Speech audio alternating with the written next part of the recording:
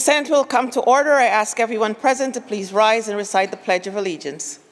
I pledge, pledge allegiance to the flag of the United States of America and to the republic for which it stands, one nation, under God, indivisible, with liberty and justice for all.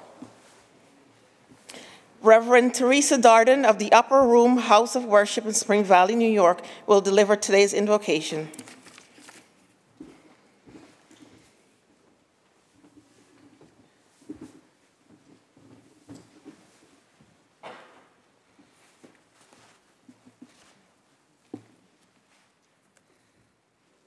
Let us pray. Most gracious, merciful, and all knowing, and all wise God of the heavens and the earth, we humbly approach your throne room of grace with thanksgiving and praise upon our lips. For this once again grand opportunity to seek out your wisdom and instruction to commit in the call of duty of our Senate. We call upon you, our God, the giver of wisdom to the wise and knowledge to the scholar. You reveal deep and mysterious things, and only you know what lies behind the darkness, though you are surrounded by light. We ask for your wisdom in the many decision making needed in these chambers today, and always during these critical and perilous times. May your truth and justice echo throughout these, this setting to silence, paralyze, and to find resolve for the raging violence, the senseless deaths among our nation to the most to the least complicated decision. May there be a balanced scale of justice and liberation on all sides. May these your servants reverence and reference your ways and your laws for guidance in making sound decisions that is good for all mankind, that we may live peaceful and quiet lives marked by God, godliness, and dignity, now and for our future and for our children's future. May they not take their authority in decision making and responsibility lightly, but responsibly. We are thankful for the vision of leadership you have imparted to our senators. And we declare and decree that they will not allow the advice of the weak, wicked, nor stand around or agree with the evildoers, nor join in with mockers. May they delight in your law and meditate on it day and night. And as your senators and servants do this, we confess that they shall be like the trees planted by the waters bearing fruit each season. Their leaves shall neither wither, and whatsoever they do shall prosper for the good of the nation. American the beautiful, God to shed his grace on thee and crown thy good with brotherhood from sea to shiny sea. God mend our every flaw, confirm thy soul and self-control, till souls weigh far as earth and air, till selfish gain no longer stain. O oh, Father, shed your light on thee. This is our prayer, that you, our God, fill your senators with wisdom, truth, understanding, compassion, counsel, and might. Give them favor increase their faith, and help them to pursue with success in your excellence, fulfilling your purpose. Do keep their hearts and motives pure. Make their hearts pliable, willing, and obedient to your will, and bring glory to your name. For you alone are God. You are subject to none, yet all are subject unto you. May we put feet to our prayer. Your eyes is on the sparrow, and we know that you are watching us. Yours be the kingdom, the power, and the glory forever. This we pray in the name of the God of Abraham, Isaac, and Jacob, in Jesus' name. Amen. Amen.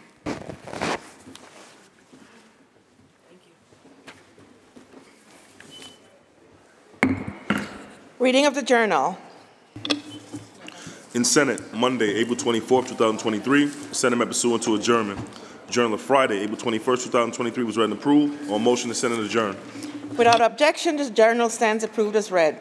P presentations of petitions, messages from the Assembly, messages from the Governor, reports of standing committees, reports of select committees, communications and reports from state officers, motions and resolutions. Senator Gianaris. Uh, good afternoon, Madam President. We're going to break for a very quick Rules Committee meeting in room 332 and then come back to take up resolutions uh, very shortly. So there will be an immediate meeting of the Rules Committee in room 332. The Senate will send at ease. Right? The Senate will send at ease.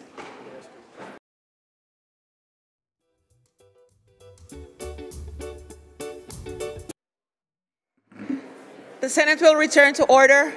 Senator Gianaris. Uh, Madam President, can we, uh, can we begin uh, the resolutions with previously adopted resolutions 571 and 698, both by Senator Griffo? Read those titles and recognize Senator Griffo. Secretary will read. Senate Resolution 571 by Senator Griffo, congratulating the Section 3 girls gymnastics team upon the occasion of capturing the New York State Public High School Athletic Association Girls Gymnastics Team Championship on March 4, 2023. Senate Resolution 698 by Senator Griffo, congratulating Grayson Gall upon the occasion of capturing the New York State Public High School Athletic Association Girls Gymnastics Championship in both the uneven bars and balance beam events on March 4, 2023. Senator Griffo on the resolutions. Thank you, Madam President. Uh, it's a pleasure today to have these young ladies with us from the Section 3 gymnastics team. Uh, they have won their state championship. They're here with their coaches and their families today. Uh, we're proud to recognize them. I know they were in the Assembly Chamber earlier, and to congratulate them on winning the state championship uh, for team, gymnastics, team gymnastics earlier this year. The Section 3 girls gymnastics team won that championship, which took, the, took place March 4th in Buffalo. And it defeated second place team by five points. They did an extraordinary job. The team consists of a number of athletes from different locations within the central New York area uh, many of them within the 53rd Senate District, New Hartford, Secaucus, Whitesboro, New York Mills, Oriskany, and also Fayetteville Manlius. So there's Senator Mannion. And uh, so the girls are up here with coaches. I think, uh, I know they're coached by Coach Seminaro, Fishkin, and Coach Smith. Uh, so they've done an extraordinary job. I think the important thing here to note is that uh, these girls chose this sport. It's a demanding sport. It requires great discipline and commitment and uh, they have done this with great determination and success. So we're very proud of how you have conducted yourselves, not only athletically, but also as young ladies, because you have been a, a true inspiration and motivator to so many others. Uh, but also you've represented our community so well that we're very proud of you and want to recognize you today. Additionally, I want to specifically recognize Grayson uh, Gall. Grayson Gall, uh, and I know her mom, Judge Gall, is here today with her, uh, Judge Erin Gall. She has won the state championships in the uneven bars and the balance beam events. Uh, this is the second year that we're recognizing her, so she is quite an athletic accomplishment and quite an extraordinary young lady. So, uh, Grayson, you set a standard for a lot of other young athletes, and you continue to demonstrate each and every day what commitment and hard work can do. So, uh, again, I think gymnasts are extraordinary athletes uh, when you consider what they have to do to prepare themselves. And all of these young ladies uh, exemplify the best uh, in athletics and gymnastics. So to all of you young ladies, I would ask the chair to recognize you and to extend to you all the privileges of the Senate chamber today. So congratulations and best of luck to you. Thank you. Senator Mannion on the resolutions.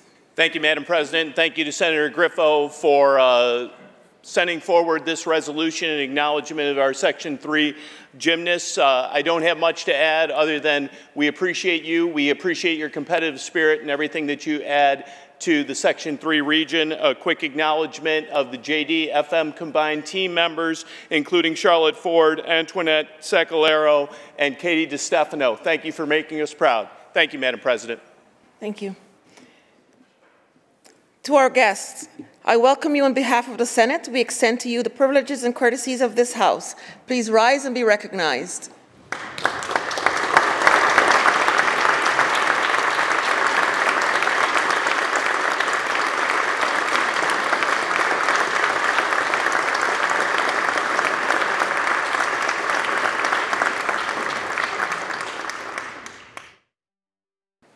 Senator Gianaris. Uh, I move to adopt the resolution calendar with the exception of resolutions 786 and 818. Resolutions were previously adopted on 321 and 410. All those, all those in favor? No. All those in favor of adopting the resolution calendar with the exceptions of resolution 786 and 818, please signify by saying aye. Aye. Opposed, nay? The resolution calendar is adopted. Senator Gianaris. Okay, can we now move on to previously adopted resolution 682 by Senator Gounardes? Read its title and recognize Senator Gounardes. The Secretary will read. Senate Resolution 682 by Senator Gounardes, memorializing Governor Kathy Hochul to proclaim April 24, 2023 as Armenian Genocide Remembrance Day in the state of New York.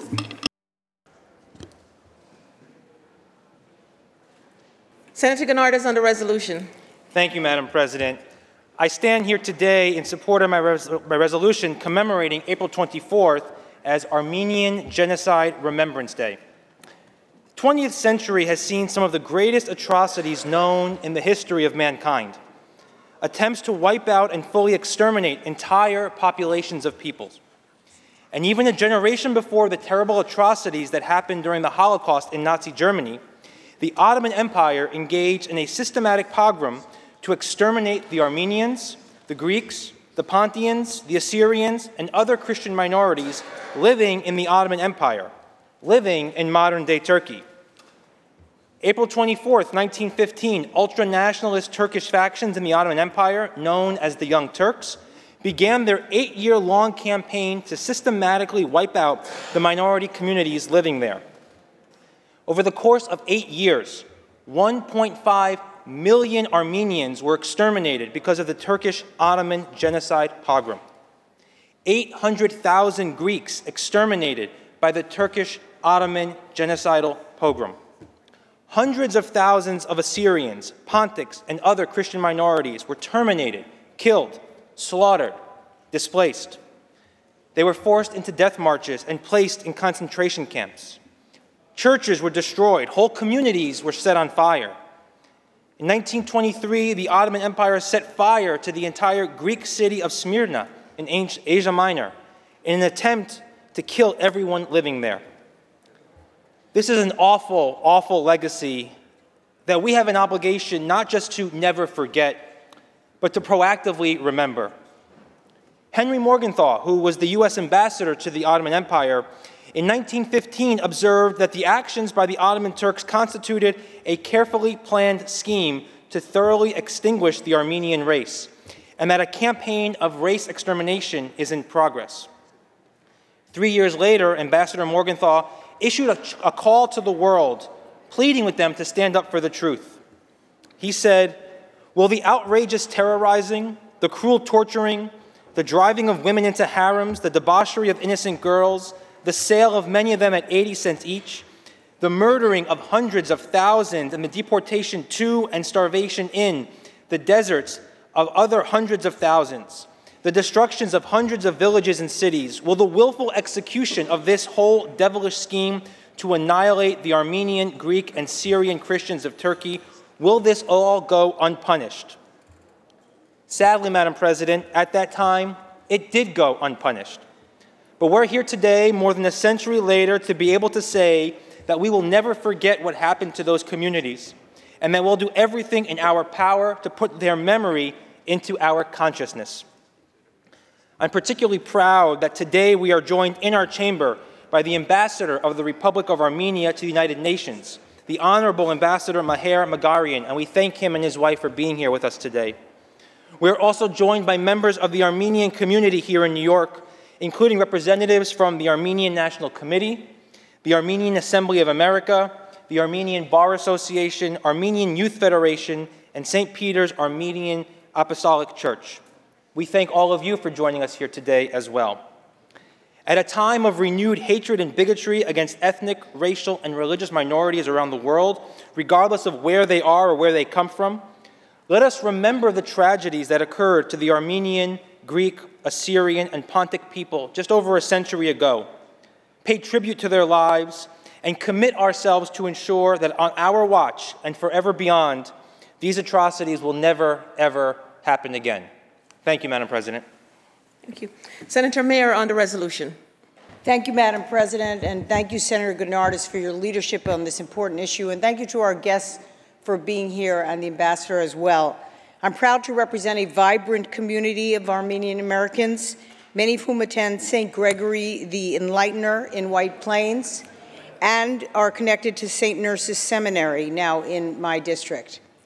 This community of uh, active community participants, both in their faith and in our wider secular community, have made such an extraordinary contribution, which needs to be recognized. But today, I'm so appreciative that Senator Gounardes has brought this resolution regarding Armenian Genocide Remembrance Day, and particularly this year, as incidents of hatred expand to so many segments of our society, it is our obligation and our duty in this chamber to speak out, to remember, to call out genocide and hatred, and to acknowledge those who lost their lives in this terrible time.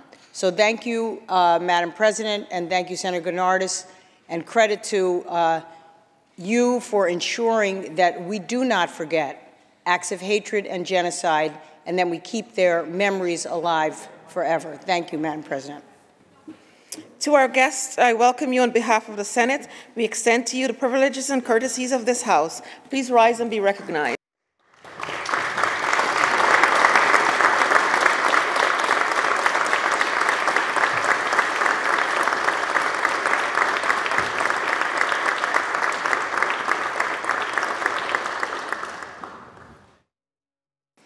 Senator Gianaris. Thank you, Madam President. Next up is previously adopted Resolution 694 by Senator Salazar. Let's read that resolution's title and recognize Senator Salazar. The Secretary will read. Senate Resolution 694 by Senator Salazar, mourning the death of Marvin E. Mayfield Jr., dedicated human rights advocate, distinguished citizen, and devoted, devoted member of his community. Senator Salazar on the resolution. Thank you, Madam President. It is with profound sorrow that today we memorialize the recent passing of Marvin E. Mayfield Jr., a dear friend, a loving husband, a nurturing father and grandfather whose kindness touched countless lives. Marvin was born on December 15, 1961, in Brooklyn, New York, to the late Reverend Marvin E. Mayfield Sr and Louise Francis Mayfield. He attended Edward R. Murrow High School before entering into the United States Air Force. His attendance and graduation from NYU's prison education program inspired him to share his life experiences and hopes for the future. Earning his BA degree in social work from NYU, Marvin also attended the Justice in Education Initiative's Scholars Program of Columbia University, Marvin grew up in the North Brooklyn neighborhoods of Bed-Stuy, Cypress Hills, East New York, and Bushwick, neighborhoods that make up our Senate district today.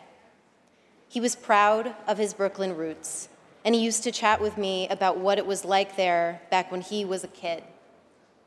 Of life in Cypress Hills, Marvin said to me, it was rough running through those Brooklyn streets, but it was a close-knit community. To me, those words reflect the unconditional, radical love that Marvin had for others. It was his intimate understanding that the strongest communities, those who overcome violence, poverty, and oppression, are the close knit communities where people feel a collective responsibility for one another. It's easy to allow fear and conflict and strife to define a community. It is much harder in difficult times to focus, as Marvin did, on the bonds that hold our communities together, that can break through cycles of violence and oppression. Marvin was committed to the work of restorative justice, an outspoken advocate for those who've been imprisoned, mistreated, or traumatized. Marvin's personal experiences of criminalization and incarceration drove him to build a movement to change unjust laws and policies. Marvin was a familiar face here in the Capitol. From 2017 to 2019, Marvin helped lead a fight for bail and discovery reform, changing laws in our state to ensure that people could avoid the horrors of pretrial incarceration, allowing them instead to keep their jobs and their homes and take care of their children. Since 2020, Marvin has served as the Director of Organizing at the Center for Community Alternatives, building power with people across New York State who've been impacted by criminalization and community disinvestment. He was integral to envisioning and launching innovative campaigns to help end the injustices of mass incarceration. A truly multi talented man, Marvin Mayfield was a roller skater, a barber, a tailor, an artist, a singer, tech guru, and self taught musician. Marvin truly embodied the meaning of fighting ruthlessly against unjust systems, yet always being gracious and kind and compassionate with people. The meaningful way for us to honor Marvin, his memory, and his life's work is to continue his fight for justice.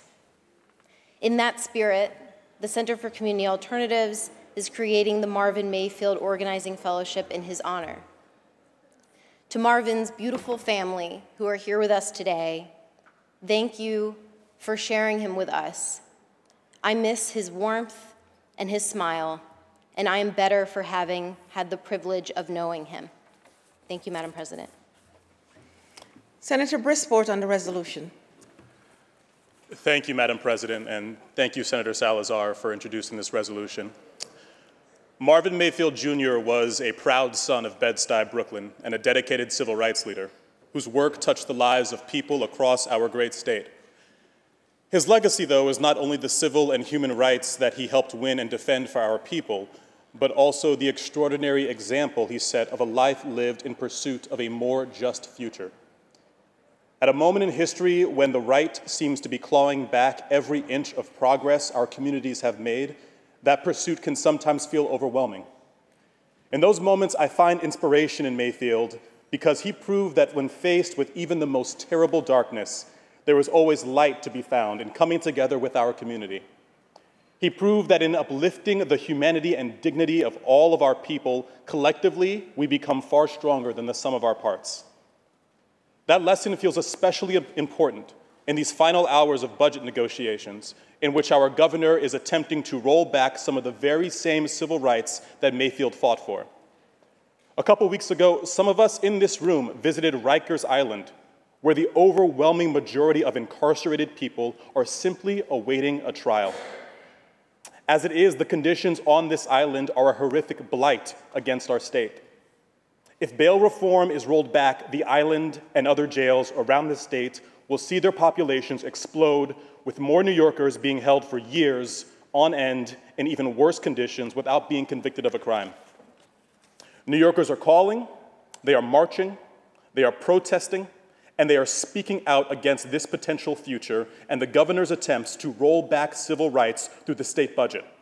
They are coming together and bringing light into this darkness. I hope that we too can stand with them and carry on the legacy of Marvin Mayfield Jr. Thank you. Thank you.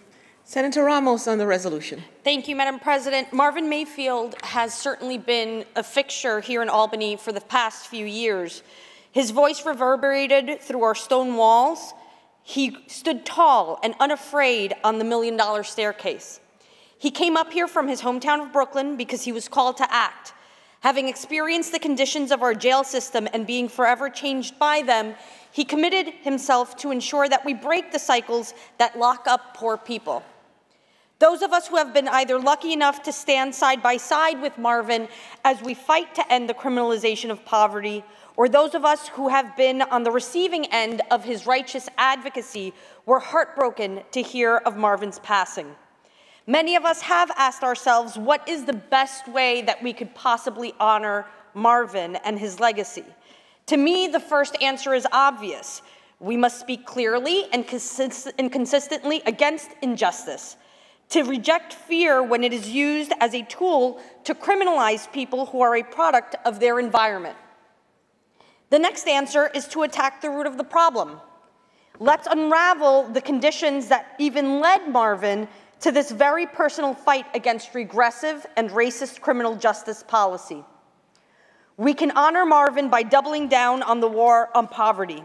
We are looking at a budget that includes a subway fare hike, no action on a plan to keep tenants in their homes, and possibly the codification of poverty wages unless we stop it. Marvin wanted a world where everyone was safe, where everyone had the care and the resources they needed to flourish. With no budget bills before us today, we still have time to honor his memory. I hope he is present in the room with our leaders as they make their final decisions over the next few days. I vote aye on the resolution. Thank you. Senator Bailey on the resolution. Thank you, Madam President. Um, you know, Marvin was my constituent, lived in the great city of Co-op, Co-op City.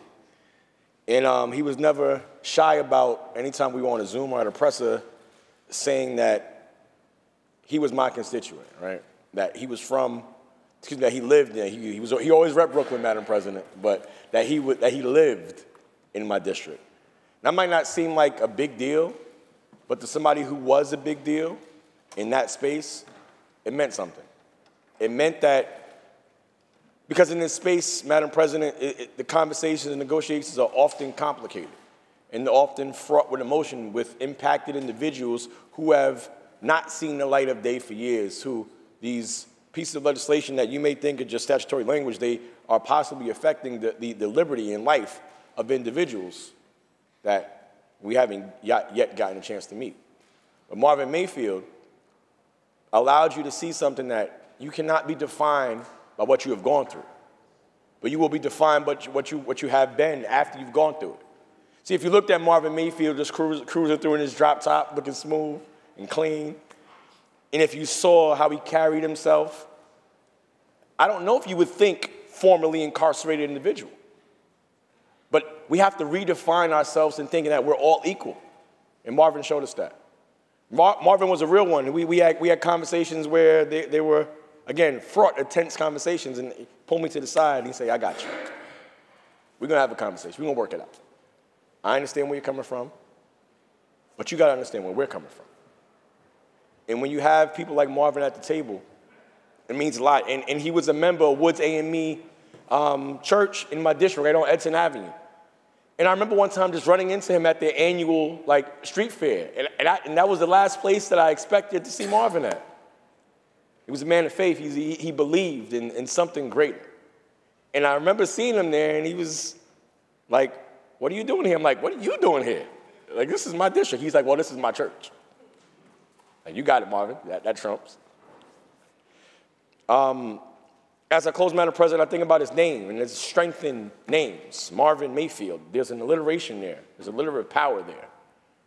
There's power in the people there, but it's, but it's, it's, it's a portmanteau, so to speak, of two of our greatest soul singers, Marvin Gaye and Curtis Mayfield, all in one. Marvin would have told you, Marvin Gaye told us what's going on. And Curtis Mayfield told us about those little child running wild, but Curtis Mayfield also said, move on up. There's a greater day. If you keep on pushing, you'll find a way. Rest in peace to the legend, Marvin Mayfield. Senator Gianaris on the resolution. Thank you, Madam President. I just want to add uh, my words uh, of condolence to Marvin uh, Mayfield's family uh, and honor him by, uh, by speaking a little bit about his life and his legacy. Uh, as you heard from my colleagues, he was someone who spent a lot of time in this building over the last several years. And what always struck me about Marvin was he was committed to his cause, born of real hard experiences in his own life. But I never saw him when he didn't greet me with a smile. And it was one of those beaming smiles that some people have. Uh, but Marvin always lit up the room and then let you know that he wasn't messing around on the issues he was talking about. So uh, he will be sorely missed here. The issues he fought for uh, will not be forgotten. Uh, and I know many of us uh, pledge to redouble our efforts uh, to honor his legacy, his experience by carrying on his work. Uh, and so I thank uh, Senator Salazar for uh, bringing this resolution to the floor. I thank his family for letting us experience uh, Marvin uh, for these last several years. and I thank you, Madam President, for giving me a moment to speak on this. Senator Rivera on the resolution. Thank you, Madam President. As many of my colleagues have said, Marvin was from Brooklyn. But even if he didn't live in the Bronx, uh, we still claim him. And not because it's the Bronx, but because wherever there are folks who need someone to stand up for them, Marvin was there. As, I, as has been said by my colleagues, he spent a lot of time in this building.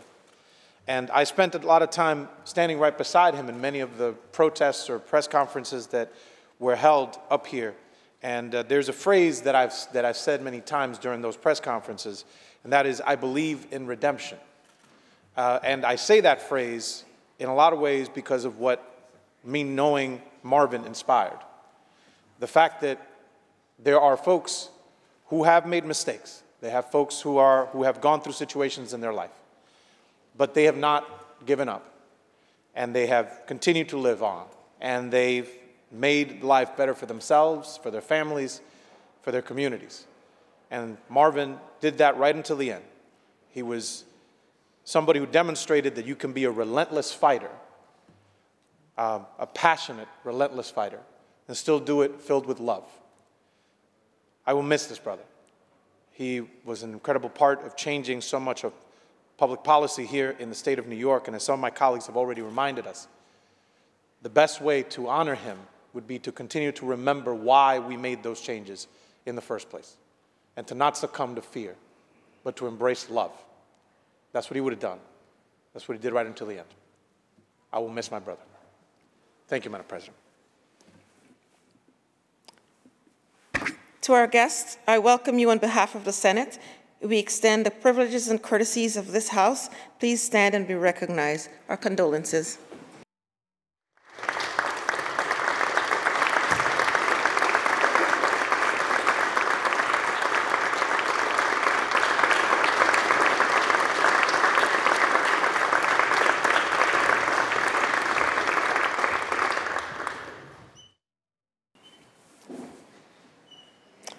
Resolution, the resolution was previously adopted on April 18th.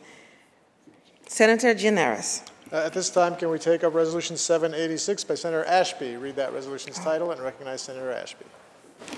The Secretary will read.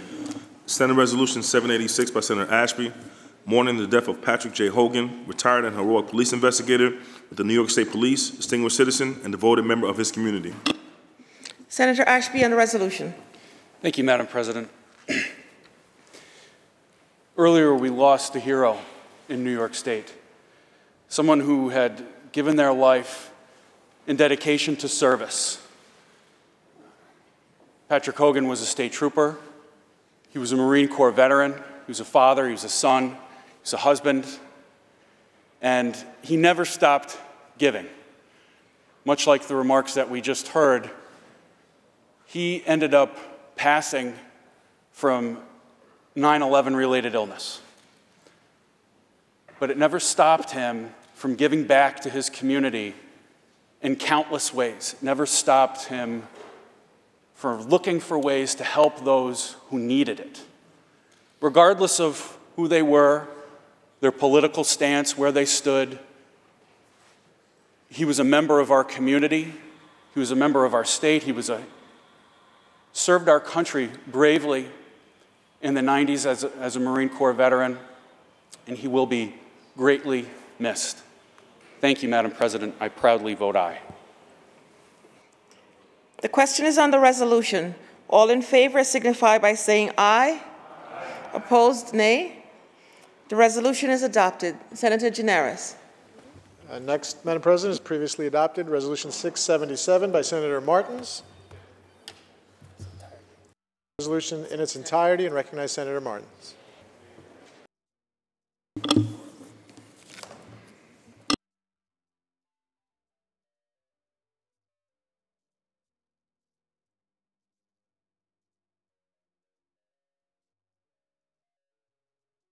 Before we do that, Madam President, I understand there were guests here for the previous resolution, so if you would mind recognizing them before we move on.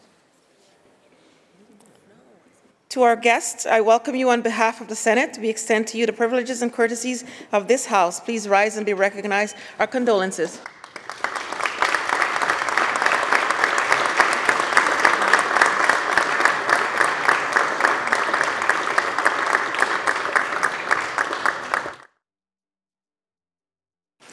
Senator Gianaris.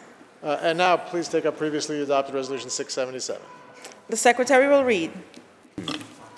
Senate Resolution 677 by Senator Martins, commemorating the observance of Portugal Day in the state of New York on June 10, 2023. Senator Martins on the resolution. Thank you, Madam President.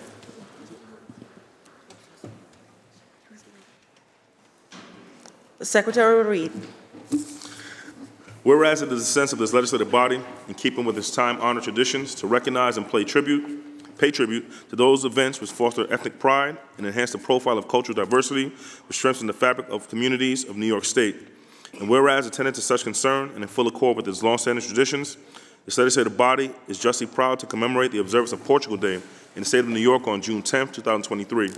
And whereas every 10th, of, every 10th day of June, the Portuguese diaspora around the world observes Portugal Day, their national holiday known as Dia de Portugal, which celebrates the, the history and heritage of Portugal.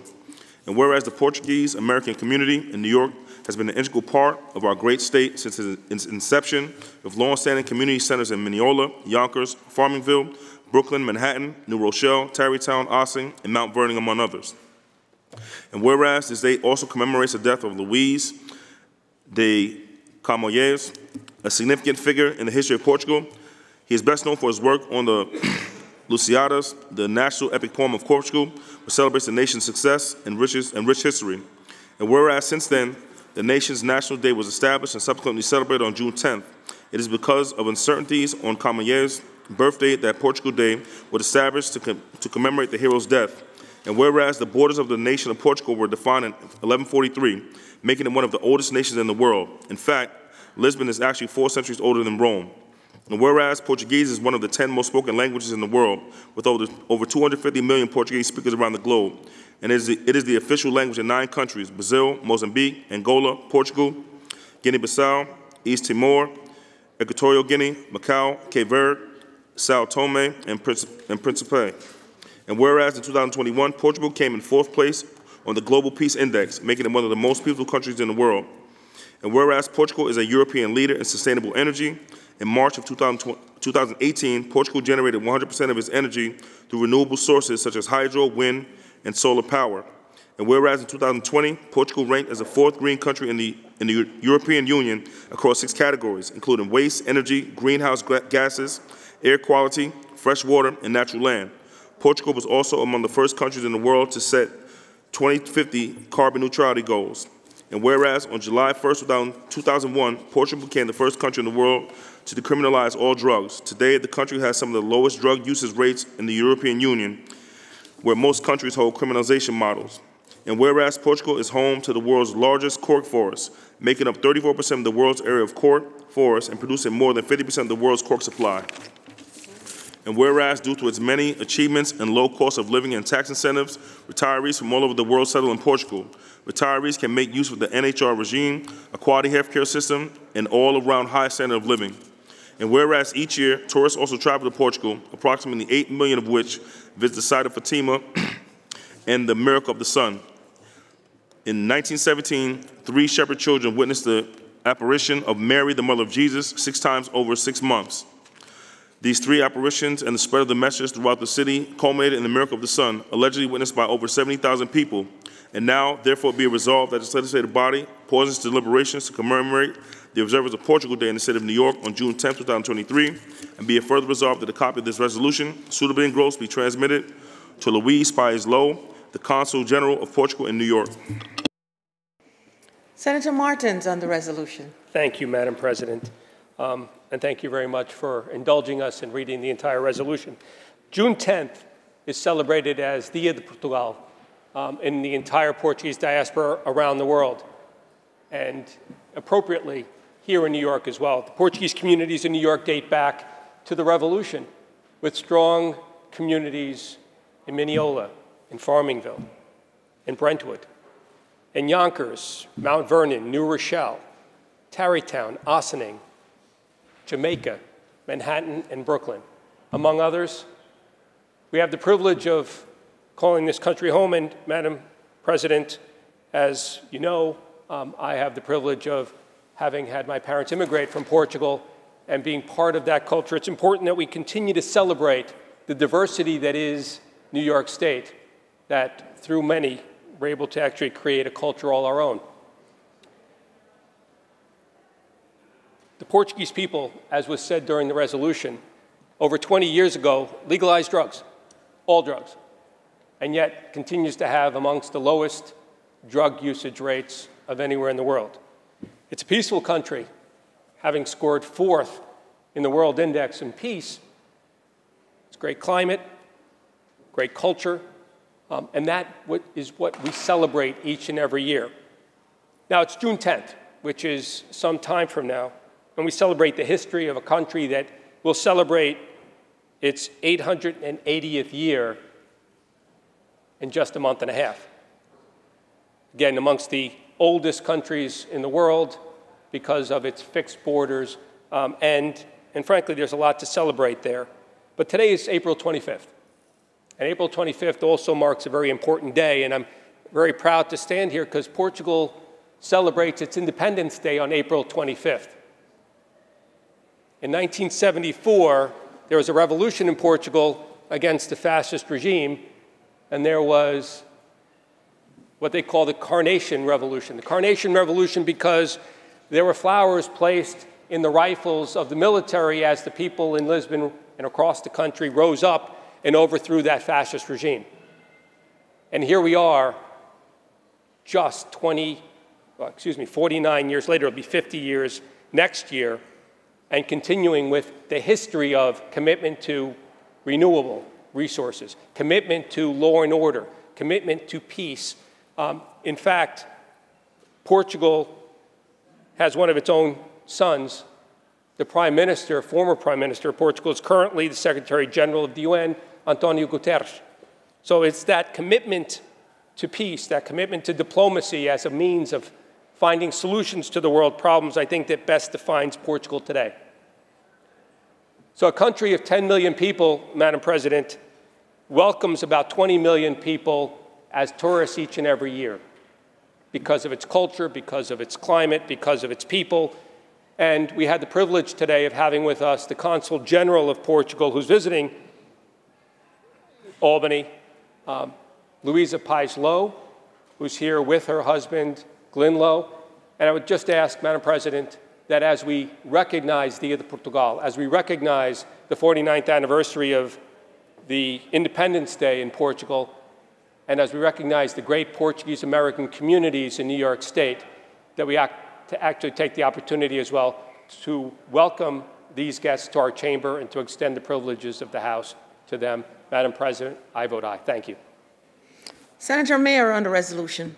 Thank you, Madam President. And again, thank you to Senator Martins for his leadership on ensuring that this uh, resolution came to the floor and that we have an opportunity to honor the very vibrant Portuguese American community that we have. And for the city of Yonkers and New Rochelle and my colleagues next door in the city of Mount Vernon, Westchester is full of a very vibrant uh, engaged Portuguese American community, which has contributed to our small businesses, as well as some of our uh, more academic professions, and certainly lawyers and doctors, but also the most warm and, in, and inviting social world that you could ask to join. Uh, to all of us, I encourage you, go to the Portuguese American Club in your community, see how wonderful it is, drink their fantastic wine and eat their food, but enjoy their uh, companionship, their friendship, and their great pride in the country of Portugal. So thank you for letting me speak on this. I proudly vote aye, and I'm very happy to celebrate Portugal Day in the city, state of New York. Thank you. Senator Rivera on the resolution. Thank you, Madam President. Uh, I want to thank Senator Martins, Martin, Senator Martins, for bringing this resolution before us. I had the, the opportunity uh, to visit uh, uh Lisbon, Lisboa, in late last year. Uh, not only did I find a magnificent chapelaria, which is a hat shop, uh, I got a this beautiful hat for like 70 American dollars. It was beautiful. Um, also, I had the opportunity to listen to an amazing musical genre called fado, in these small, amazing clubs with live music where everyone, you could hear pin drop as this amazingly, uh, uh, you know, amazing music is being played just a couple of feet from you. Or I had the opportunity to visit also the Museum of Resistance and Liberation, which was an absolutely inspirational place, Madam President. It used to be during the, uh, during the, uh, um, uh, during the, the military dictatorship, it used to be a, a jail, a prison for for spies. And then it was transformed after the Democratic uh, Revolution in the 70s, eventually was turned into a museum of resistance and liberation. It, it, was an incredible experience. And what topped it off for me was to be able to visit, as, as Senator Martins uh, expressed, uh, Portugal is actually way ahead of us as it relates to, as it relates to how we deal with addiction. Uh, they legalized all drugs, which seems like a crazy notion. And yet, the reality is that their use, their rates of drug use are way below ours. The rate of violence attached to, to drug use is basically non existent. They treat addiction like a public health crisis, not like a criminal act. Uh, and it has been immensely transformative for the lives of Portuguese people, and it has been certainly an inspiration to many of us who want to bring that forward thinking uh, into, into the US. Uh, so I'm, I'm certainly uh, appreciative of Senator Martins for bringing this to our to this resolution to the floor, uh, and I would encourage all of my colleagues to learn about what this amazing country has done right, and maybe we can borrow some of that for us, Madam President. I vote aye. Thank you. Senator Bailey on the resolution. Thank you, Madam President. Thank you, Senator Martins, for this resolution. Um, it, it, so, Senator Mayer mentioned it also in, in, the city of Mount Vernon, there is a vibrant Portuguese population.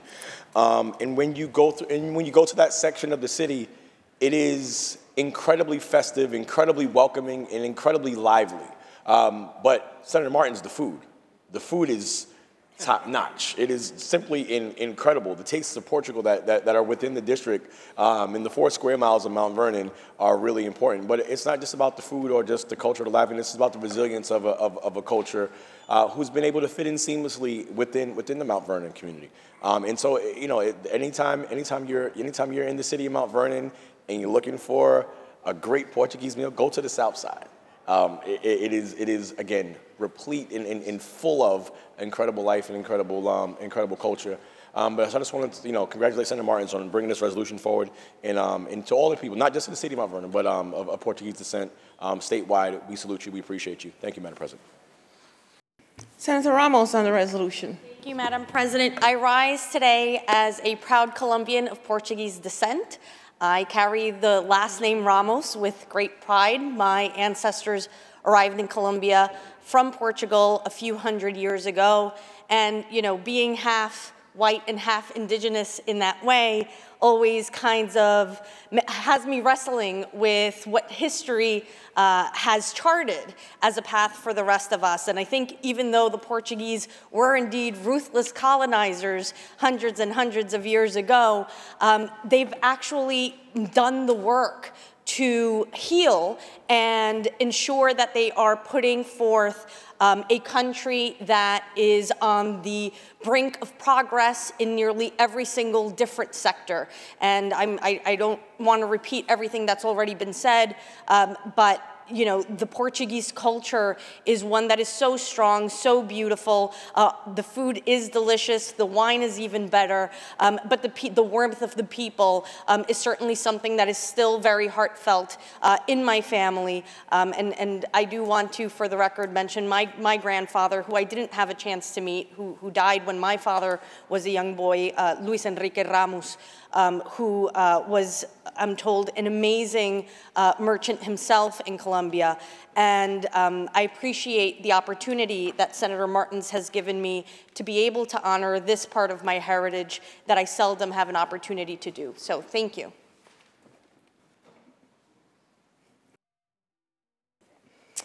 To our guests, I welcome you on behalf of the Senate. We extend to you the privileges and courtesies of this House. Please stand and be recognized. Happy Portugal Day.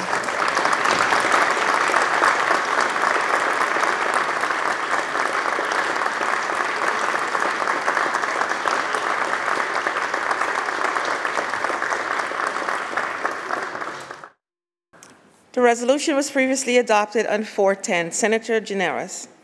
Uh, Madam President, now let's take up Resolution 818 by Senator Sepulveda. Read that resolution's title and recognize Senator Sepulveda. The Secretary will read. Senate Resolution 818 by Senator Sepulveda, welcoming the Society of Foreign Consuls to the Legislative Chambers in Albany on April 25, 2023. Senator Sepulveda on the resolution. Thank you, Madam President, for allowing me to present this resolution today. Uh, today I rise to support a joint resolution welcoming the Society of Foreign Consuls in New York to our legislative chamber today. We have 26 members of the Foreign Council here uh, blessing us with their presence. Uh, I'm pleased to announce and to note that some members of the Society uh, are here with the delegation directed by the Honorable Embajadora Marita Landaveri, the Consul General of Peru. Eh, quiero dejarles saber que el sub líder de esta mayoría está casada con Mariana, una peruana de Lima. Uh, it's happy, uh, I'm happy to say the Society of uh, Foreign Consuls represents the world's largest consular uh, corps and foster cultural, and they foster cultural and economic relationships between member countries, New York City, and the United States. Uh, this resolution acknowledges the Society of Foreign Consuls, uh, their commitment to promoting these relations and its effort in organizing seminars and events on consular access, uh, diplomatic security, immigration, document fraud, and airport protocol. It also applauds the Society of Foreign Consuls' contribution to supporting many charitable organizations here in New York State.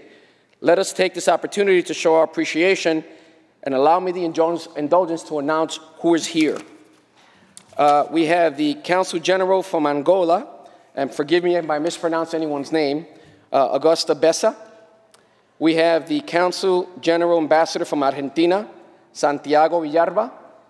We have the Consul General, a friend of mine who I've met on many occasions, from Bangladesh, Mohammed Monirul Islam.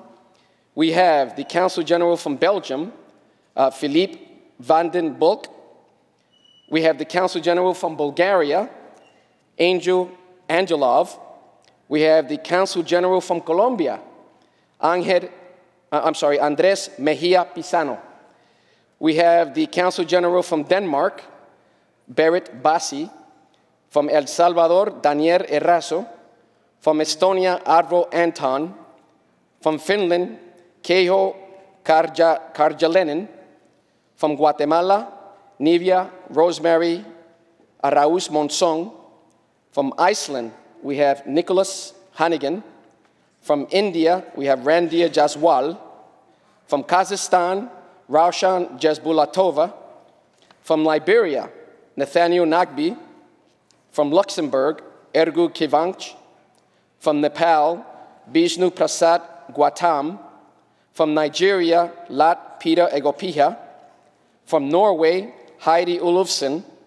From Peru, I mentioned the Ambassador Consul General Marita Landaveri. We also have the Deputy Consul from Peru, Giovanna Zanelli, and uh, the Deputy Consul General, uh, Deputy Consul Jose Emanuel. From the Philippines, we have Consul General Senen Mangalili. From Portugal, we have Luisa Lowe.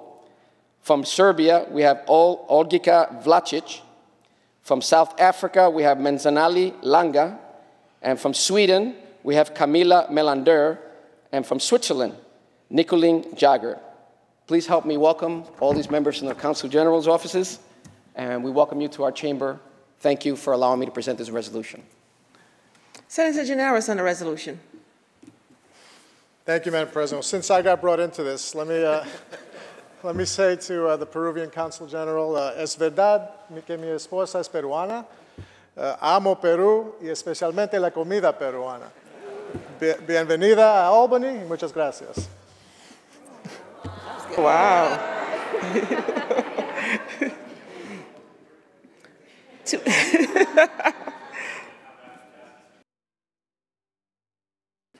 yeah. We done? To our guests, I welcome you on behalf of the Senate. We extend to you the privileges and courtesies of this House. Please stand and be recognized.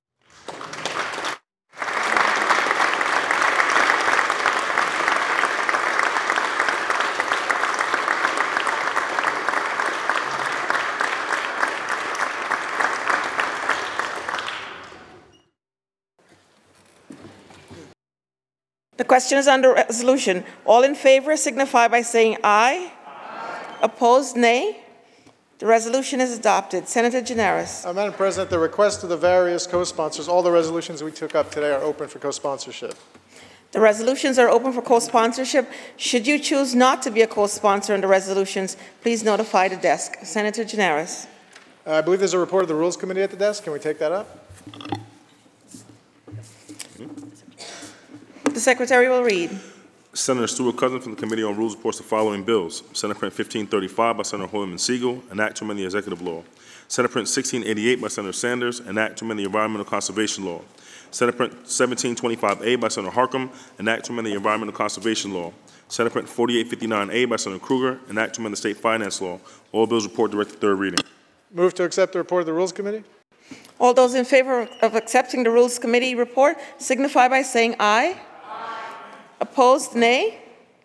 The report of the Rules Committee is accepted. Senator Gianaris. Can we now take up the calendar, please? The Secretary will read. Calendar number 317, Senate Print 3419A by Senator Mannion, an act to establish a bottle redemption fraud task force.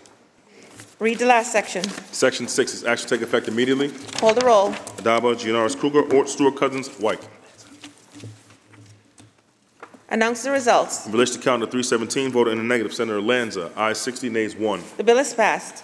Calendar number 426, Senate Print 4304 by Senator Parker, enactment of the Public Service Law and the Public Authorities Law. Read the last section. Section 4, this act take effect on the 1st of January. Call the roll. Addabbo, Gianaris Krueger, Ortt, Stewart Cousins, White.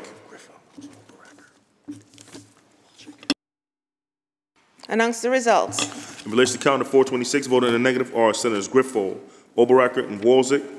Ayes 58, nays 3. The bill is passed. Calendar number 603, Senate Print 4636 by Senator May, an act to amend the general municipal law. Read the, la- read the last, lay it aside. Calendar number 609, Senate Print 992A by Senator Hoylman Sigal, an act to amend the environmental conservation law. Read the last section. Section 3 is act to take effect December 31st, 2024.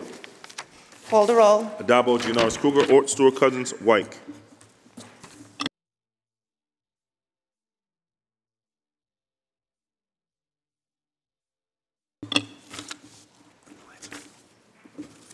Announce the results. In relation to calendar 609, those senators voted in negative are Senators Borrello, Griffo, Lanza, and Oberacker. Ayes 57, nays 4. The bill is passed. Calendar number 610, Senate Print 1538A by Senator Hoylman Sigal, an act to amend the environmental conservation law. Read the last section. Section 2, this act take effect on the 180th day after shall become a law. Call the roll. Addabbo, Gianaris Krueger, Ortt, Stewart Cousins, White.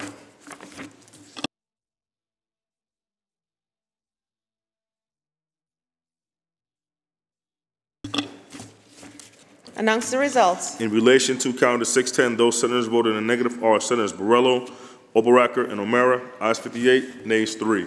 The bill is passed. Calendar number 611, Senate Print 4198 by Senator Comrie, an act to enact the New York Wildlife Crossing Act. Read the last section. Section 7, this act shall take effect immediately. Call the roll. Addabbo, Gianaris Krueger, Ortt, Stewart Cousins, White.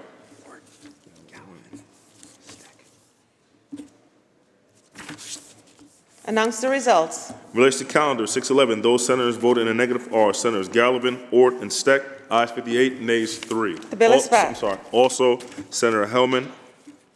Ayes 57, nays 4. The bill is passed. Calendar number 613, Senate Print 5331 by Senator Harckham, enact to amend the Environmental Conservation Law. Read the last section. Lay it aside. Calendar number 623, Senate Print 5512 by Senator Rivera, enact to amend the Public Health Law. Read the last section. Section 3, this action take effect immediately. Call the roll. Addabbo, Gianaris Krueger, Ortt, Stewart Cousins, White.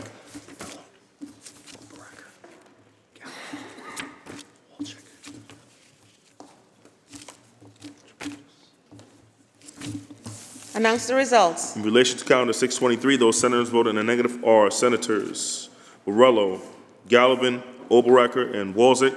Ayes 57, nays 4. Bill is passed.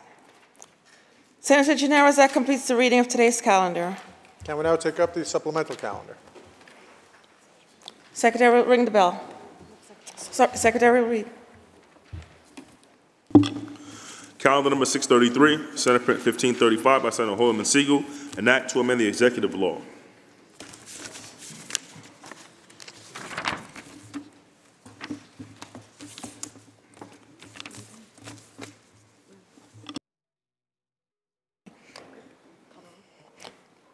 Call the roll. Addabbo, Gianaris Krueger, Ortt, Cousins, White. Announce the results.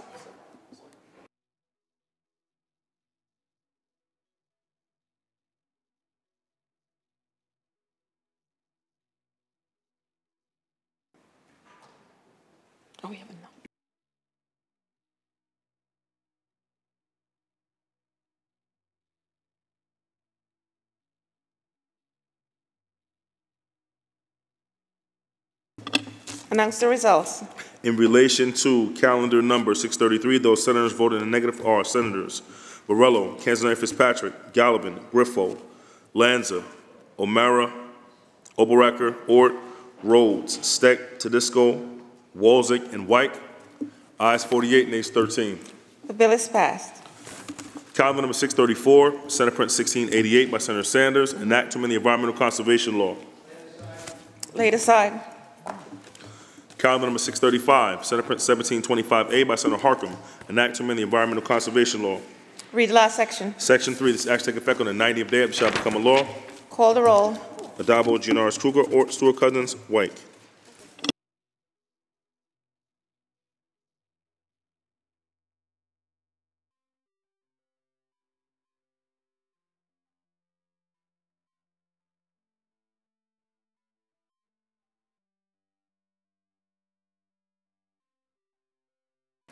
Senator Borrello to explain his vote.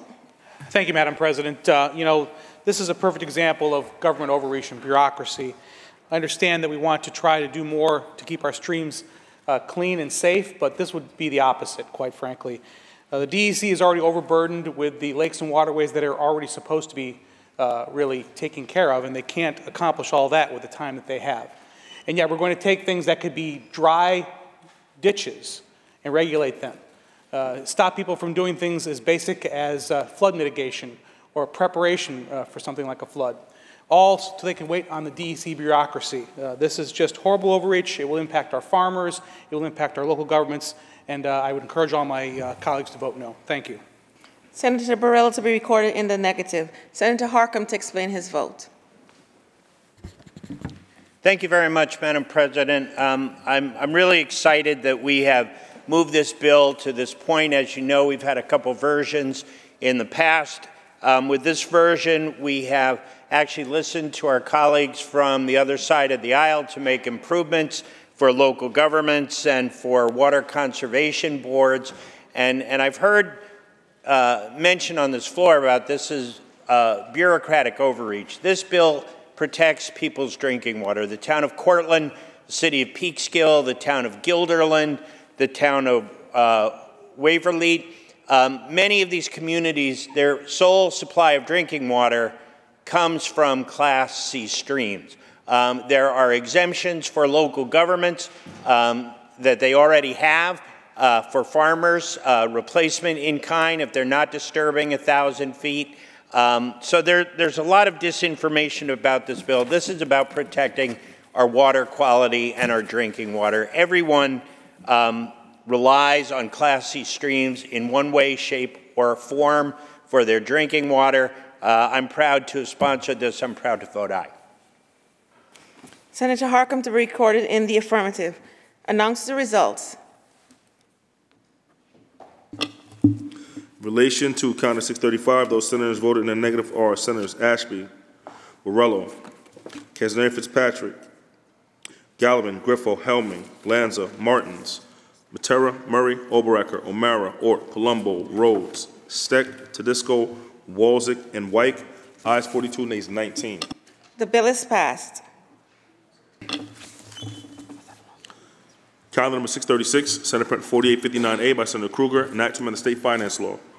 Read the last section. Section 7, this act shall take effect immediately. Call the roll. Addabbo, Gianaris Krueger, Ortt, Stewart Cousins, White.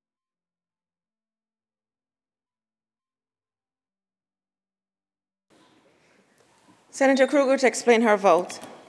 Thank you, Madam President. Um, I appreciate the people who are voting for my bill. I just want to emphasize how important the issue of the continued deforestation of the tropical rainforests on our planet are, the enormous damage done to climate because of the tearing down and the destruction of these areas in the world.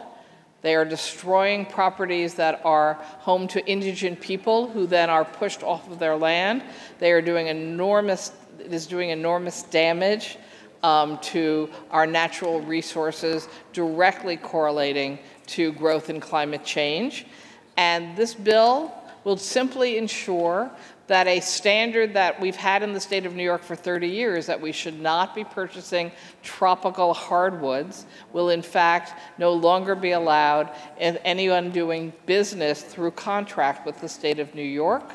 Um, we have set out a very detailed way to ensure that state agencies can monitor, that vendors can understand what is expected of them, and frankly, we believe that this should be expanded beyond just contractors with the state of New York, but with the passage of this law and with implementation, we think that others will understand why not only is it so important for our planet that we are following down this road of protecting the remaining tropical and boreal forests of the world, um, but they will also realize it's not that hard to do. We have alternative options. I vote yes, and I hope my colleagues will vote yes. Thank you, Madam President. Senator Krueger to be recorded in the affirmative. Senator Martin to explain his vote. Thank you, Madam President. And I do want to thank Senator Krueger for the bill. Unfortunately, I will be voting no. Um, and it's simple. At, at, the end of the day, um, the ideals of protecting rare uh, woods, rainforests, is something we should all aspire to. The idea, though, that we're going to hold contractors, those who are actually the workers who are putting a framing a building or putting this together seems odd to me. We're not going after the importers. We're not going after the suppliers. We're actually going to hold contractors responsible for the type of wood that they're doing when they're just putting work in to try to make ends meet. So I, I do understand the concept of holding people accountable, but those people who brought those woods into the country, who brought them into our state, who actually put them into the stream of commerce should be held accountable, not just the person who is actually the person doing the work. So I'll be voting no. Thank you. Senator Martins to be recorded in the negative. Announce the results. In relation to County 636, those senators voted in the negative are Senators Ashby, Borrello, Canzoneri-Fitzpatrick, Gallivan, Griffo, Helming, Martins, Matera, Murray, Oberacker, O'Mara, Ortt, Palumbo, Rhodes, Stec, Tedisco, Walczyk, Weber, and White. Ayes 42, nays 19. The bill is passed. Senator Gianaris, that completes the reading of the supplemental calendar. Can we now move to the controversial calendar, beginning with calendar 634? Secretary will ring the bell. Secretary will read. Calendar number 634, Senate Print 1688 by Senator Sanders, enactment of the Environmental Conservation Law. Senator Lanza, why do you rise? Madam President, I believe there's an amendment at the desk. I waive the reading of that amendment and ask that you recognize Senator Palumbo to be heard.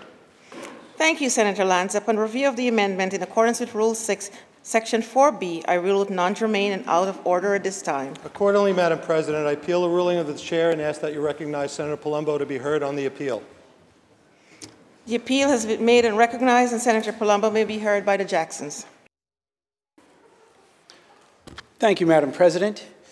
Um, I appeal the chair's ruling um, and rise to, rise to appeal it because the proposed amendment is germane to the, to the bill at hand because the bill in chief helps farmers find a beneficial use for their unwanted tires. This bill will provide additional and greatly needed relief for farmers and is welcome relief. In fact, this is one of the first positive proposals we've seen for many New Yorkers in quite some time as we face a budget that's a month late. Um, and uh, the latest in 13 years, mind you, but New Yorkers need relief from the crushing squeeze of the state's burdensome taxes and historic inflation. Despite easing inflation pre pressures after months of historic increases, price growth is still squeezing consumers in key areas. Prices for food climbed 8.5% from March of last year to March of this year, while over that same period, rent grew by 8.4%. So we're seeing inflation posing a risk to New Yorkers as consumers and as taxpayers. And for those who don't know, inflation causes what is known as bracket creep. This results in taxpayers moving into higher tax brackets where they face higher tax rates without any increase in income.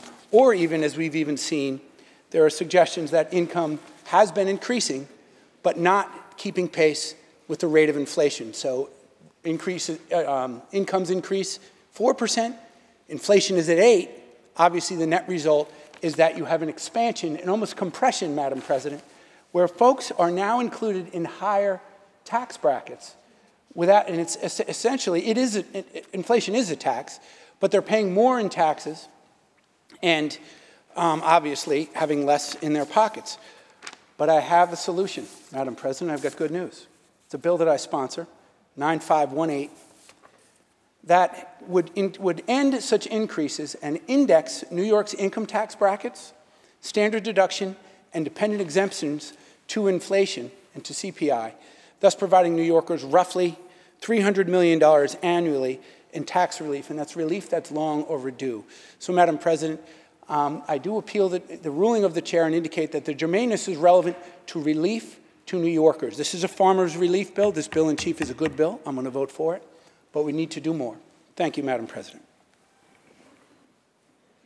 Thank you, Senator. I want to remind the House that the vote is on the procedures of the House and the ruling of the chair. Those in favor of overruling the chair signify by saying aye. Show of hands. A show of hands has been requested and so ordered.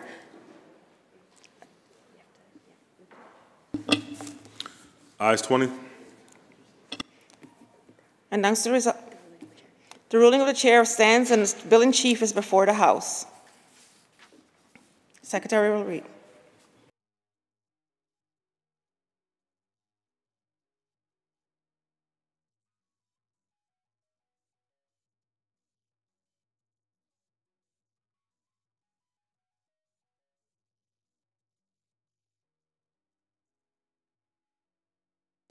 Read the last section. Section 2 is act take effect on the 90th day of the shall become law. Call the roll. Dabo, Gianaris, Krueger, Ortt, Stewart Cousins, White. Announce the results. Ayes 61. The bill is passed.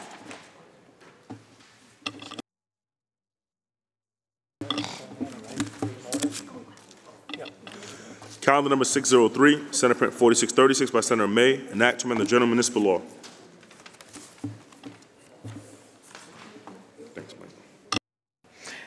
Senator Palumbo. Again? So nice to see you. Will the sponsor yield Will the for a sponsor question or two, yield for a question or two? Be glad to. The sponsor yields. Thank you, Senator May. Um, and I know this bill actually was my predecessor's bill for many years. Um, and I do absolutely appreciate uh, the intent of it, that it would just simply add lakes to the Adopt a Park program.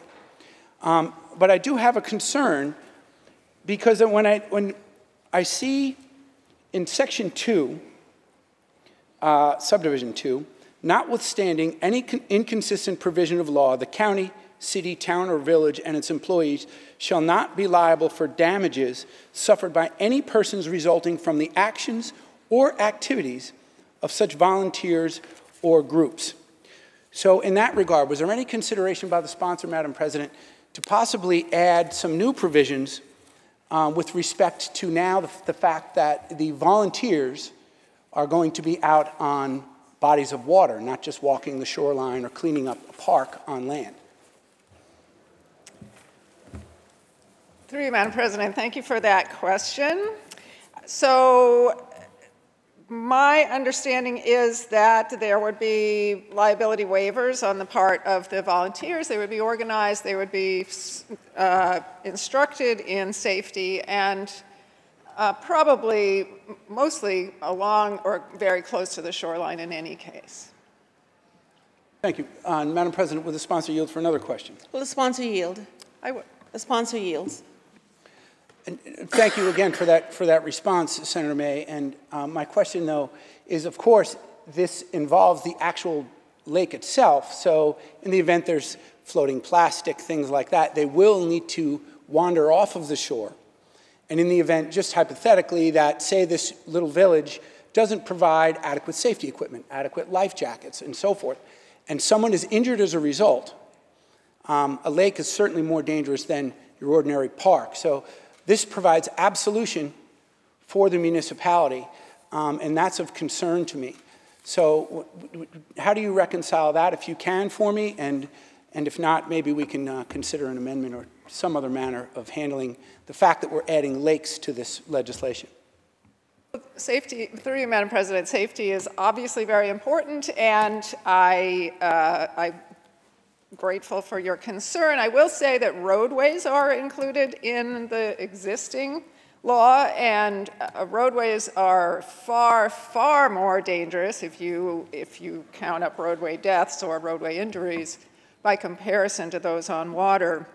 So, and I mean, it, that's in general, and then within the program of adopt a roadway, there have been very, very few injuries reported. So, so in general, this program has been quite safe in the, you know, the, the areas where it has been in effect up until now. So I do feel pretty confident that we will have a similar safety record along waterways too. And I will say, as somebody who kayaks, who's out on the Finger Lakes in my district a lot, uh, the temptation to pull things out of the water is strong. It would be very dangerous to do that if you were out there alone. But this kind of organized activity where you're supported in, in a group is a much better way to do it. Thank you, Senator May. Madam President, on the bill, please. Senator Palumbo on the bill. Thank you, Madam President. And um, I like to use the Zoom feature now. I don't have to always put my glasses on to read it. Um, and, and I, as I indicated, this was my predecessor's bill for many years, and it seems somewhat innocuous to just add lake to a very laudable goal to clean up our parks. Um, and I'm completely in favor of that. But I do have a significant concern because the bill actually provides um, that they're authorized to provide and coordinate services by volunteers or groups, uh, reduce to reduce the amount of litter, including providing trash bags and trash bag pickup in the designated areas where volunteers may be in close proximity to moving vehicles, providing safety briefings and reflective safety gear. I would like to see something along those lines, and quite frankly, I am concerned because I, I was, uh, this was brought to my attention by some groups and individuals who pay attention to these, these, these things, that providing absolute liability to the municipality, we're asking volunteers to do an amazing thing and sign their life away, potentially. So for those reasons, I do have significant concerns. I'd ask that we amend and clarify that language in this bill, and I'll be voting no. Thank you, Madam President. Okay. Are there any other senators wishing to be heard? Seeing and hearing none, the debate is closed. Secretary will ring the bell. Read the last section. Section 3 is act taking effect on the 60th day, it shall become a law. Call the roll. Addabbo, Gianaris Krueger, Ortt, Stewart Cousins, White. Senator May to explain her vote. Thank you, Madam President. And I want to thank the Chair of, the, of, Environmental Conservation and the Majority Leader for bringing this package of bills for uh, Earth Day. Um, and I'm proud to have a bill on the, on the agenda because uh, protecting our waterways is extremely important to me. I now represent a new district that has four Finger Lakes and part of Lake Ontario in it. And one of the things that I have been really struck by is how much responsibility the local residents take for making sure that their waterways are protected. The, the watershed associations do incredible work in my district. And I think this gives them one more opportunity to kind of harness that excitement and community engagement with the water to actually do cleanup along the lakes and on the lakes. And I look forward to being part of some of those projects moving forward. So I vote aye. Thank you. Senator May to be recorded in the affirmative. Senator Murray to explain his vote. President, I'd just like to thank the sponsor. Um, I actually, as many of you know, served some time over uh, down the hall in the Assembly, and during that time, I actually carried this bill and helped to write it. So um, I thank you for pushing it forward. It's long overdue as we were trying so hard to get lakes included. A lot of the litter is along the shoreline. Uh, we were pushing very hard and kept hitting roadblocks, so I thank you for pushing this through. I'm proud to support this bill as it'll do a lot of good in our communities. Thank you. Senator Murray to be recorded in the affirmative. Announce the results. In relation to calendar 603, vote in the negative. Senator Palumbo, aye, 60 nays, 1. The bill is passed. Calendar number 613, Senate Print 5331 by Senator Harckham, an act to amend the Environmental Conservation Law. Senator Borrello. Yes, Madam how, President. How may we help you? Um, thank you. I appreciate that. Uh, the list is long, Madam President. Uh, would the sponsor uh, yield for a question? Will the sponsor yield? Uh, first of all, happy Earth Day, Madam President, and to you, uh, Senator Borrello, and yes, the sponsor uh, happily will yield. Thank you. Through you, Madam President, um, food waste, and obviously is, a, is a, a big topic. Uh, you know, I think as much as 40% of food uh, is thrown away, which is certainly a problem. But uh, we already have a solution for this right now. There's a current program that DEC uh, put into place after legislation was passed. That's only a hot 16 months into its execution. Uh, why are we changing this now with this bill? Through you, Madam President, uh, first I, I want to thank um, the Senator for highlighting uh, the, the need of this program. A, the amount of food that, that is wasted, 30 to 40 percent. Um, it's also important that we address this for climate change to put it in pers perspective, in the United States, food waste accounts for 170 million metric tons, or the equivalent of 42 coal-powered fire uh, fired uh, power plants, which is why so much attention has um, been placed on food waste in the scoping plan of the CLCPA. Uh, and finally, the cost of the waste, with 18 percent of, of the municipal waste stream made up of food waste, we all pay by the ton. Taxpayers pay, municipalities pay, district payers, and customers, so, so by the ton. So this has always been the plan. This was discussed in the scoping plan that we would get to this point. The first bill that the senator rightly refers to, which we passed a few years ago, was the, was the pilot to get it set up so DOT could see that it was working um, and then this is where the scoping plan has envisioned we, we would get to. Madam President, the sponsor continue to yield. Will the sponsor yield? A absolutely. The sponsor yields.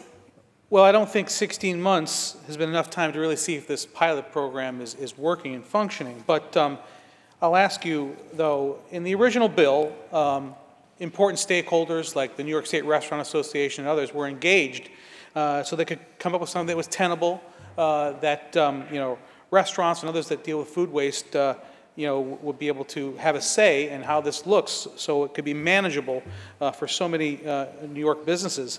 Um, but uh, I'm told by the Restaurant Association they weren't involved in this piece of legislation uh, that you've presented. And uh, so where did these numbers come from? I mean, if, you, you're not, if you're not engaging folks like the New York State Restaurant Association who were involved in the first uh, plan with DEC, who came up with this plan? Thank you, Madam President. Um, to, to the first point, um, well, I'll, I'll, come back to the, the oh, the, the first point was about who said DEC was ready to expand this. It was DEC who said they were ready to expand this.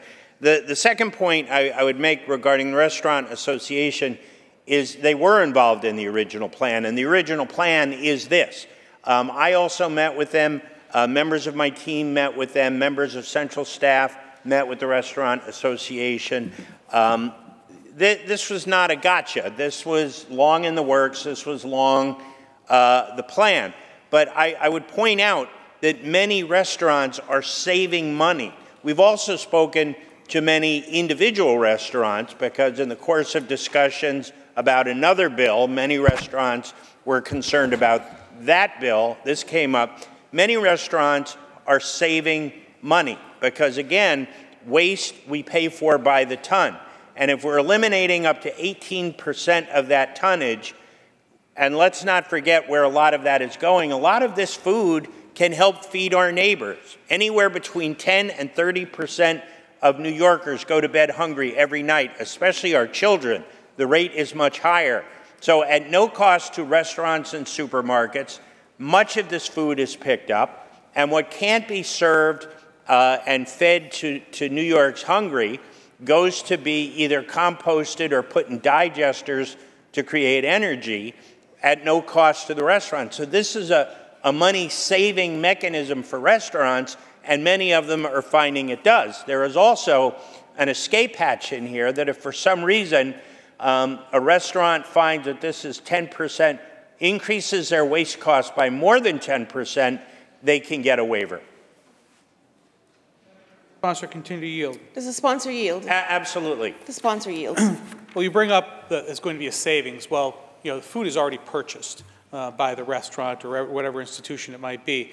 Um, and uh, whatever's left, and, I, and, we do this at our restaurants, is often donated to local food banks close by, especially perishable foods and things like that. This is now a burden that would require them to, uh, to have a hauler come and pay that hauler. So there, I don't see any savings, but um, you did actually remove the 25 mile radius requirement in this bill, which means now many restaurants that aren't in close proximity to one of these organic haulers may have to pay somebody uh, to come from 50 miles away, 75 miles away, and they're likely coming in diesel powered trucks. They're going to be spewing emissions uh, to pick up those products. So, why the removal of this 25 mile radius?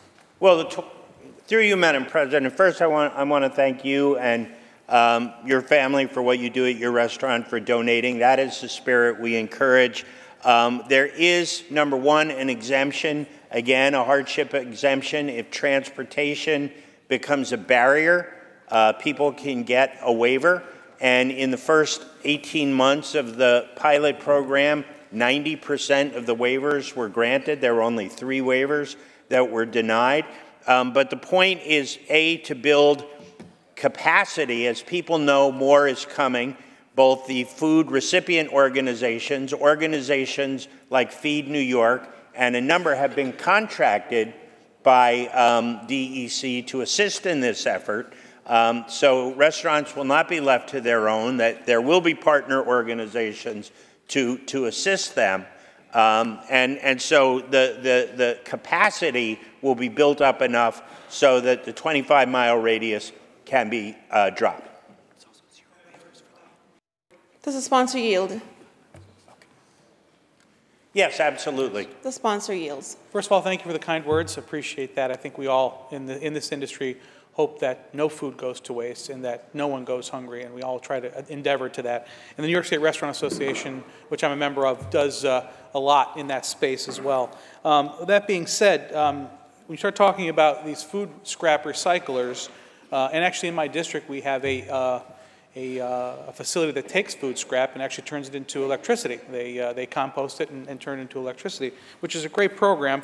But again, the cost of getting it there is, is uh, you know, an issue oftentimes. But that being said, with this plan now uh, accelerating and the number of people that will have to recycle their food waste or do something with it, um, are we going to have the capacity currently with the infra infrastructure that we have uh, from those organic uh, food haulers or, uh, and recyclers to handle the increase that this is going to create? President, I, I would say two things. Number one, the capacity of the people who come and pick up the food to take it to food pantries will be there. It is there. They, they are begging for more um, uh, usable food for their pantries as food insecurity has, has stayed high after the pandemic. Um, and and let, let's remember that's no cost to the donor. So that, that's saving the restaurateur money. And many times when, when there's an organic, um, when the organics are sent, there is no cost because the, the digesting folks are making money on the back end with the energy. So these, there may be an expense of getting it from point A to point B, admitted, um, but we're saving in other areas of cost and, and that's why many restaurants are finding they're actually saving money by this program versus their costs going up. Madam President, sponsor continue to yield. Does the sponsor yield? I will, Madam President. If I may, um, sure. there is also a waiver if transportation is unavailable. So we know in some of our rural areas, um, you're 75 miles from the nearest municipality um, what, whatever, or infrastructure, you can apply for a waiver. Thank you. Thank you for that information. The sponsor yields. Yes, thank you. Thank you. Um, is there any other state that uh, has, has kind of matched this, um, we'll call uh, aggressive agenda for food waste uh, that, that, this bill calls for? Madam President, momentarily, we'll, we'll get that view.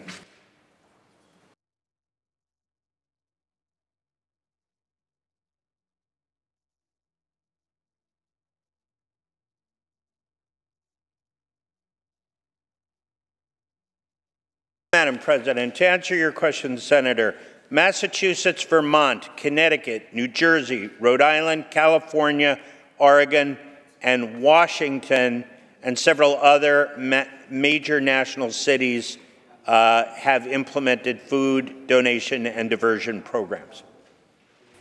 All right. Madam President, on the bill. Senator Borrello on the bill. First of all, thank you, Senator Harckham. Uh, appreciate it. Also, uh, nice shirt. I like that. uh, uh, you know, he, he brought up, uh, the senator brought up that uh, the Restaurant Association was engaged here, but we have a memo here that actually states that, um, yeah, that this was, really, they were not involved, that um, New York State and its New York State Restaurant Association's members always open to making better policy based on constructive feedback and data, particularly when it comes to food waste reduction. However, and they cite the bill number, was introduced on March 2nd of 2023 and is now poised to pass the Senate just a few weeks later. We have not been asked to engage or provide any kind of stakeholder feedback on this proposed legislation that would fundamentally alter the current program. So what we're saying here, folks, is Restaurant the Restaurant Association is saying, uh, we were, we were discussed, we discussed this initially, and now we were cut out of this change. And I realize that it's Earth Day and we want to get this up and running quickly, but uh, I can tell you that the restaurant industry, like so many others, was really damaged by the pandemic. I think we all know that. And now to put this new onerous burden on them is going to set them back that much further.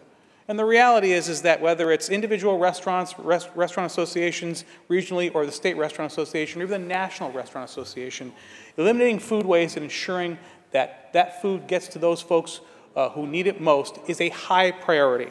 This bill isn't really necessary, and the 16 month old program that's really just getting underway hasn't had a chance to really work. So I'll be voting no. Thank you.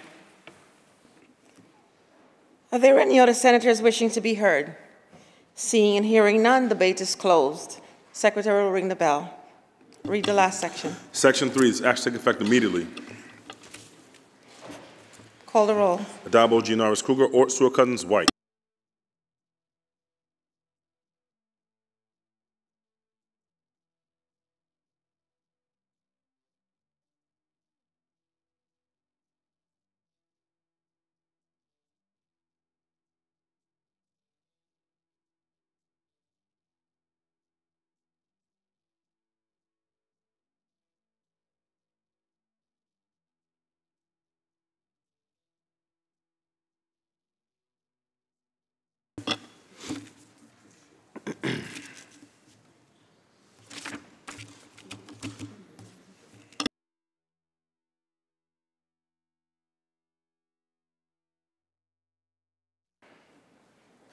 Announce the results. In relation to calendar 613, those senators voting in the negative are Senators Ashby, Borrello, Canzoneri-Fitzpatrick, Gallivan, Griffo, Helming, Mattera, Murray, Oberacker, O'Mara, Ortt,